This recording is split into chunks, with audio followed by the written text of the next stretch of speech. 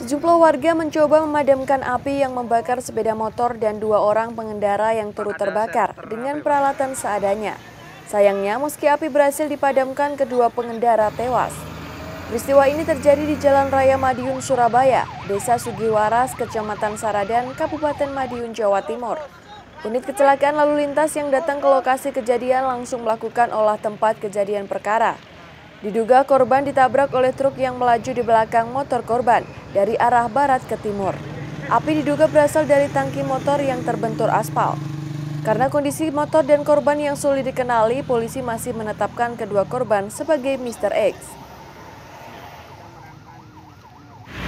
bahwasanya kendaraan beriringan dari arah timur ke arah barat. Namun saat di TKP terjadilah tabrakan dan kendaraan roda dua ini terpental ke bahu jalan, lalu eh, tangki bensinnya tergores sehingga terjadi percikan api yang menyebabkan kebakaran eh, terhadap motor tersebut. Sehingga sampai saat ini sudah kami olah TKP, hasilnya adalah dua korban meninggal dunia di tempat karena terbakar.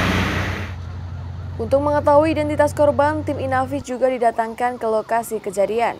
Inavis hanya menemukan petunjuk nomor rangka dan nomor mesin korban. Korban dievakuasi ke Rumah Sakit Umum Caruban untuk diotopsi.